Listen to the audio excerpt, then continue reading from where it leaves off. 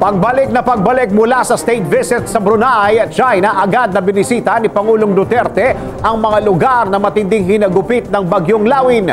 Kung ano-ano ang mga tulong na ipinamahagi ng Pangulo at kung sino-sino ang kasama niya sa pagbisita sa mga nasalanta ng bagyo, alamin natin yan sa report ni RHO9 sa Nicasulia.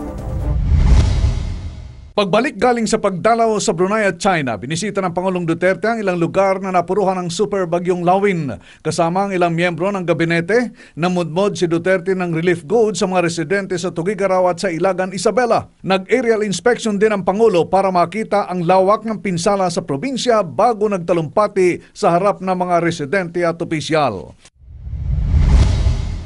Ay na presidente midterm.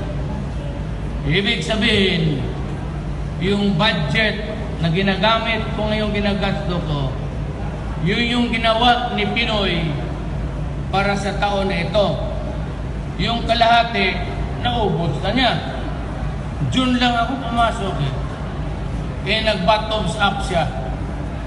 Hinulog talaga niya lahat. O, oh, yan, kumpanya, bottoms up. Ang naiwan no sa akin, wala akong capital outlay. Wala na akong pera dyan mamili ng... Ang akin is maintenance na lang. RH9, Sani Casulia, naglilingkod sa pagbabalita. I-like po ang page ng DZRH News Television para updated at i-share ang trending news na balitang ito para mas marami ang makabalita at mag-comment para alam namin ang opinion mo.